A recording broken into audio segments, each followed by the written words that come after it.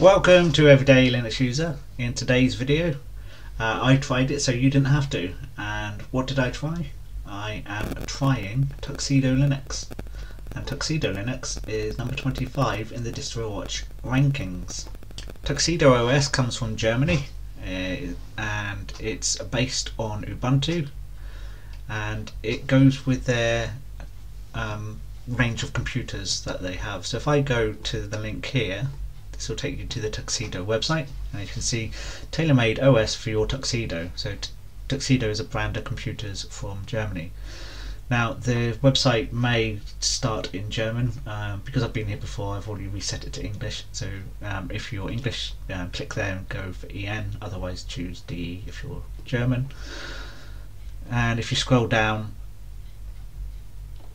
you can see the download link down there so um, says making Linux accessible to the general public. This is our mission at Tuxedo Computers. With, with Tuxedo OS, we not only offer Linux notebooks and PC, but also the operating system for our hardware. So this is a computer manufacturer that actually provides a Linux distribution as part of the service. So if I go to download, obviously you don't have to have a Tuxedo computer to run this. Um, you can get the latest version by clicking this ISO here um, I've already done it, so I don't need to do that. You can, of course, look at their computer offerings. Um, for instance, if I click here, you can see uh, the prices around a 779 euro mark um, and upwards. So they're not the cheapest, but um, I, I, don't know anything about the hardware itself, so I'm not going to comment on that. I'm just going to comment on the Linux distribution. So here I am, I'm in uh, Virt Machine Manager. I'm going to click on New here. I'm going to click Forward and and I'm going to click Browse and I am going to click Browse Local and I'm going to choose Tuxedo OS. So the downloaded file. I'm going to choose the operating system as probably General Linux click forward. Uh, I'm going to give it give it eight gigabytes. I'm going to give it four cores, and we're going to choose. I've actually already created a drive for this, um, so it's called Tuxedo. I'm going to choose the volume, and I'm going to click forward. And I'm going to call it Tuxedo, and I'm going to click finish. And Tuxedo is now going to boot I'm just going to click the first option and let it boot up. So I'm going to go into full screen mode. The you can see it's actually loaded with German as the default. Um, not surprising, it's a German-based distro. So if we scroll down a little bit, we can get to British English and click next. And it's now chosen the correct time zone, etc., and the keyboard and system language. So you can see it's picked the English UK and the standard keyboard layout. So if I click setup there, and now it's going to configure locales. Uh, I tried this about 10 minutes ago and it took a little while to get going. So uh, I'm just going to come back when it's finished. If I go to full screen mode, um, you can see that it hasn't set my display correctly, so I can sort that myself. And we go in here and this is the option we want. Click apply keep and that's perfectly fine. And now we can click on the installer. It started the installer in American English um, so we're going to leave that click next. I'm going to choose a raised disk because I'm working in a virtual machine. Obviously if you're doing this to your actual machine um, you'll want to back up everything first. I'm not going to do anything with swap. I'm just going to click next. And I'm going to enter my username.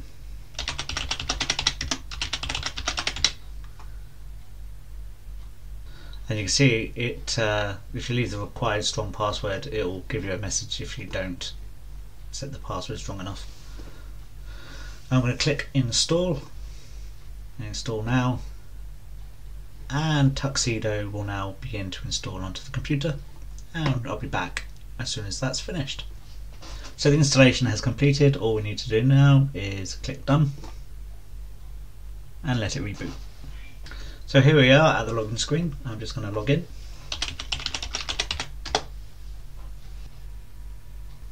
And we're logged in and you can see it's actually chosen the correct display settings. So if I go into here, it's actually gone to the correct value straight away.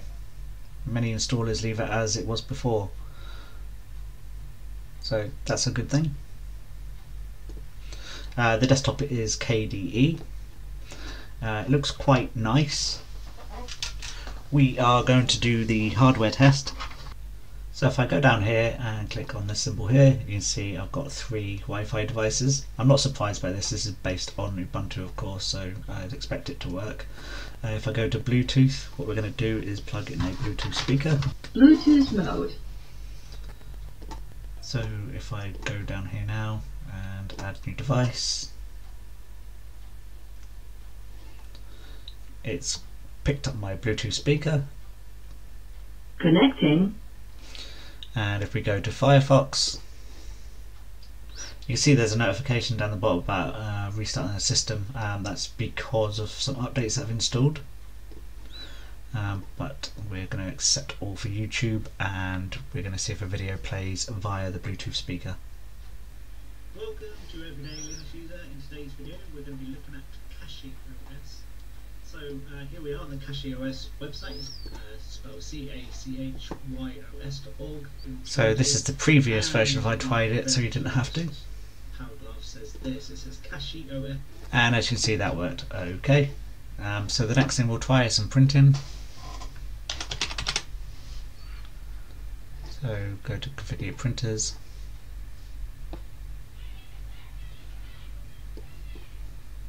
Add a printer.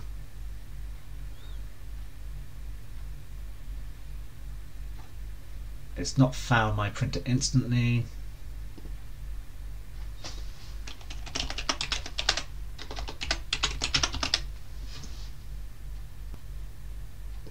And I'm going to have to pick the printer. And we'll go for this option here. And it's making us do all the work.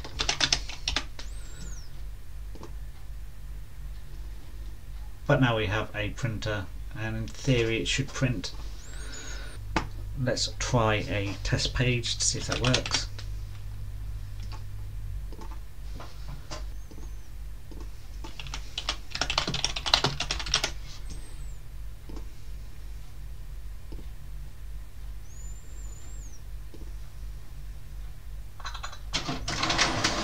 Don't know if you can hear, but behind me the printer has kicked off. And it printed perfectly okay, without any problems at all. So hardware is good. Let's see what applications are installed with Tuxedo. So under development we've got the uh, Kate text editor which comes as part of KDE. Under games we've got a basic set, uh, Mahjong, Minesweeper, Patience and Sudoku. Under graphics uh, we've got an image viewer called GwenView, we've got LibreOffice Draw, a document viewer and a scanning application. And internet we've got a Firefox, uh, KDE Connect, a torrent client and Thunderbird Mail. Uh, multimedia we've got a music player called Elisa and VLC. And Office, the LibreOffice suite, under Science and Maths, uh, LibreOffice, and then we've got some settings. Now none of this is particularly surprising, I'm not seeing anything actually missing. It's got one of each application expect for um, an operating system that comes with what would essentially be an OEM computer. So they've supplied a computer and they supplied the operating system with all the tools you need to get going. It's then up to you to install what you need. Under the Tuxedo menu, you've got this control center to help you tune it and WebFAI creates the easiest way to prepare uh, a USB pen drive for a fully automated installation. So we're not going to do that and that's about it. So Elisa looks like a decent um, audio player and it's got radio stations at the bottom so we could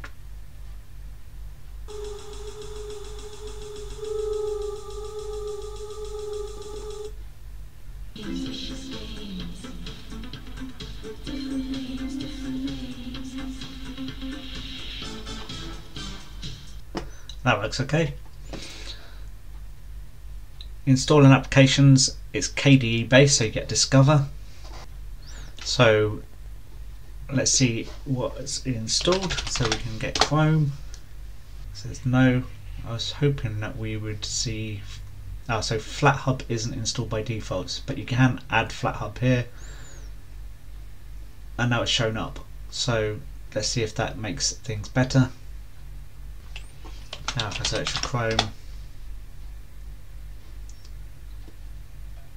it's now there available, so you can install Chrome if you want to and you can see it's coming from Flatpak. So if you want Steam, got the Steam installer. You want Spotify, Spotify is available.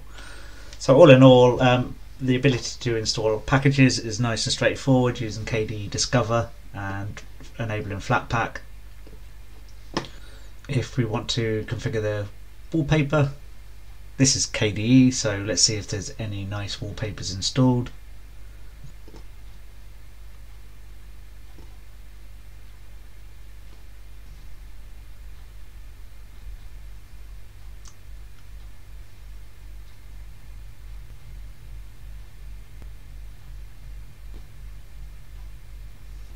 And there you go, um, that's how you change your images uh, all in all, um, I'm really liking this uh, distribution. It's it's Ubuntu. Uh, let's not get away from there. It's Ubuntu, but it's uh, with KDE as a um, desktop environment. It's got a decent set of tools installed. Firefox, LibreOffice. You've got an image viewer, audio player, media player. Um, all the tools you'll need to get going.